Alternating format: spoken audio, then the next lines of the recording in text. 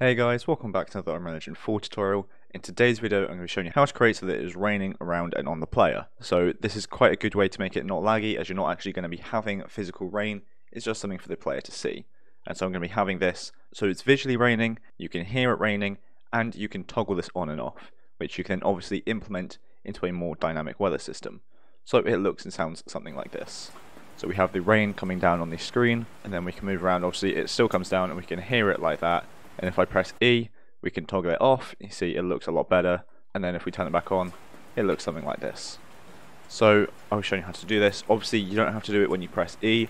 You can do it by something else. This is just how I've got it set up for testing.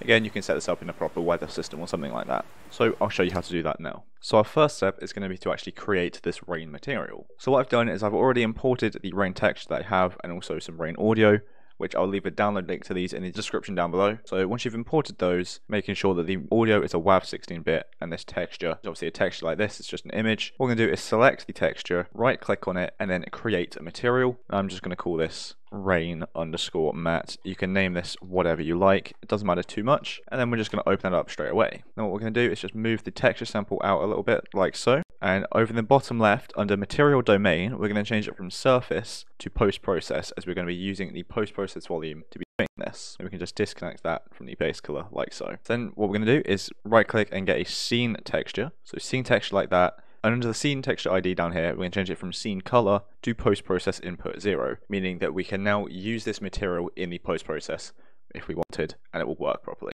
And obviously we do want that. So the color of that is going to go into the emissive color there, as we only want to be messing about with the color and how it looks, not the size and all that. And it's like I say, emissive color as it's post process. And then what we're going to be doing to get the texture sample in there, which is obviously our rain, we want to be adding this to the texture coordinates. So what we're going to do is get a texture coordinate. So right click, texture coordinate like so. And what this is doing is it's going to be putting it in the world essentially. So we have that properly like that. We're going to come out of this, again add. So an add like so. And that's going into A. B is going to be the red value for our texture sample like so. And then the return value of that add will go in the UVs for our scene texture like that. What this is doing is it's going to be adding our texture sample to our texture coordinates and putting that in post process. Now we also want to do, so another step here, just to give this a bit more customization to make it look a bit nicer, is out of this red here, so where it's going into the add, if we come out of this and get a multiply first, and then put the return value into the B there, and then if we right click and get a scalar parameter, so scalar parameter, and I'm just going to call this strength, or whatever you like, so it's just how strong the rain is, but you can change the name of that to be whatever you like, and I'll plug that into B. And so what this is going to be doing is this will allow us to change this value here whenever we want and however we want. And like I say, this is going to be multiplying by the texture sample. So if it's zero, then the texture won't be there anymore, so the rain will be gone. And obviously it's going to be adding to the texture coordinates again, going back in there. So all this is doing is allowing us to change how visible and how strong the rain is before we put it in there. And now the final step in here is to actually make the rain fall because at the moment what this is doing is it's just putting the rain texture on there, but we want to make it fall as well. So if we come out of the UVs with the texture sample and get a panner, so a panner like that, and with the speed, we want speed Y to be minus one or just a minus number so it's falling down. But we also want to be able to change this with parameters as well, so we can customize this however we want. So to do that, we're going to come out of the speed here, and we're going to get an append vector under the math like that. You get this error, but that's just because we haven't put any inputs in there just yet. And then what we're going to do is get another scalar parameter, so scalar parameter like that. Call this one speed x, plug that into the A, you get that again because we haven't finished yet, and duplicate that, plug it into the B,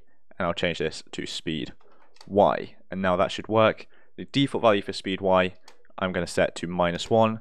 Speed x, I'll leave it 0 as I don't want to be moving it on the x-axis at all because that is obviously horizontal, which rain doesn't fall in, unless obviously you have a bit of wind, which you can about with that. And then the strength, I will put a default value of 1, but we can change that as well. And so now this is our material setup for our rain. So we now have this set up perfectly like so.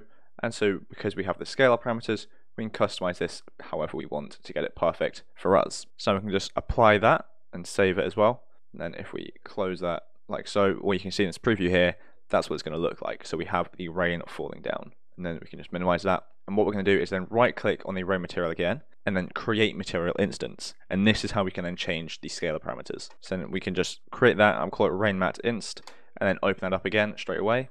Then if we just tick these variables here, these scalar parameter values, we can mess about with these. So if we change the speed x, it's going to be moving along the x like so. And then if we change the speed y, it's going to be changing how fast or how slow it's moving. So you can get it really fast, like it's really heavy, or quite slow. So I'm going to set it back to minus one.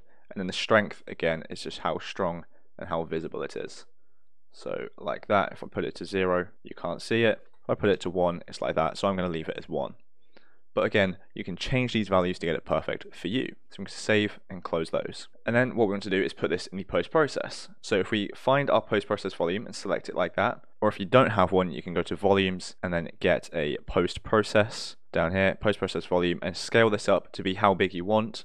Or if you want it to just cover the entire map, so everywhere in your level, you can scroll down until you find infinite extent unbounded like so. And if you just tick that, then it will cover the whole map instead of just where you have it. But I already have a post process scaled up to the size I want as we get that by default. So I'll be using that. And then in this post process, so in the details, what we're going to do is search for materials. And then under this post process material array here, we're just going to hit a plus element to add another array. We're going to select choose and get an asset reference. And then we're going to select our rain material instance and hit this arrow here to use that. And now you can see we have this rain on the screen like so.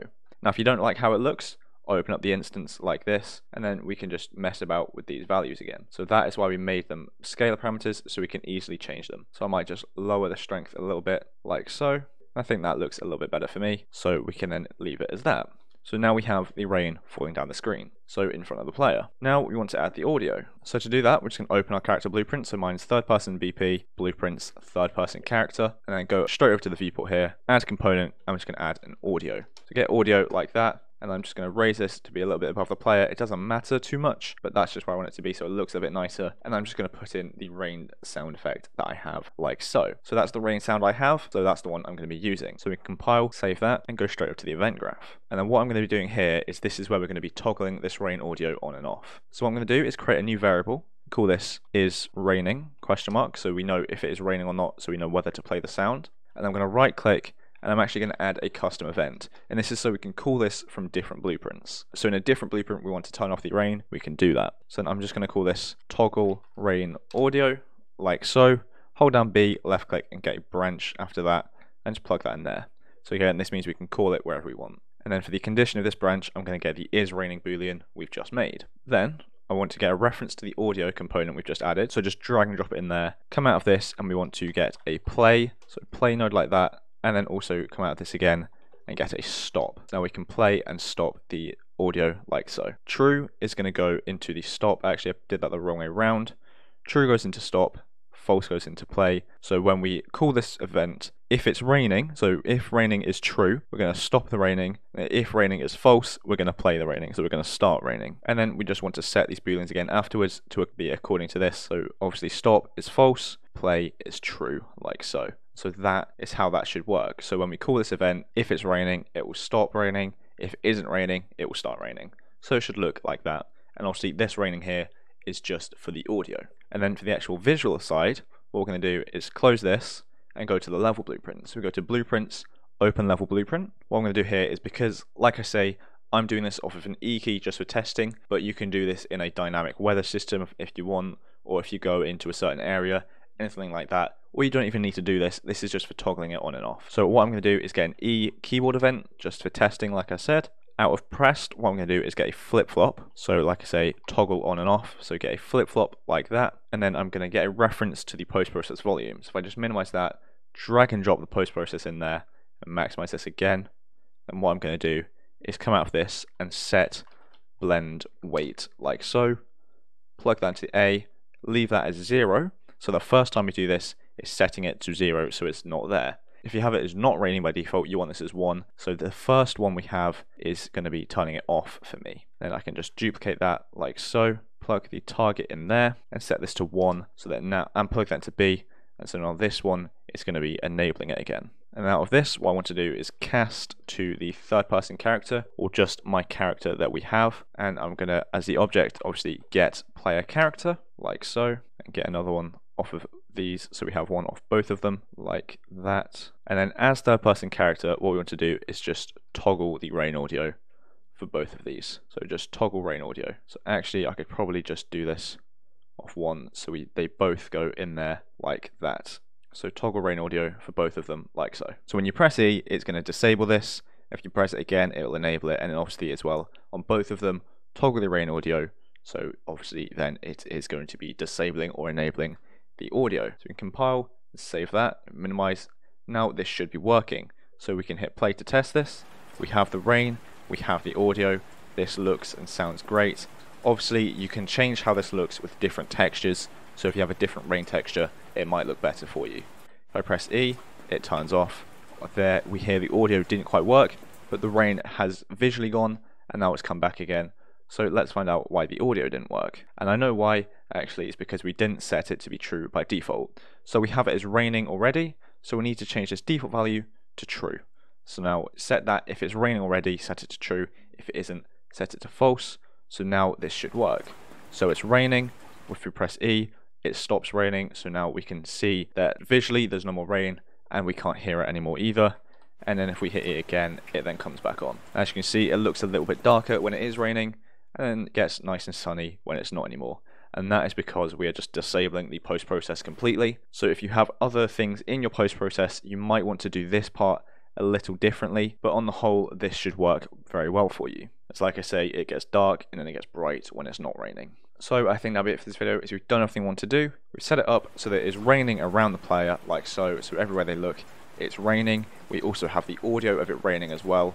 And then also if we, we can toggle this on and off, and you can do this depending on whatever you like. So on a keyboard event, on a box collision, on a weather system, anything like that. I'm just showing you how to do it. And then we can toggle it back on again. So we have the visual and audio aspects of the rain. So thanks so much for watching. I hope you enjoyed and I hope you found it helpful. And if you did, make sure to like and subscribe down below. So thanks so much for watching. I'll see you in the next one.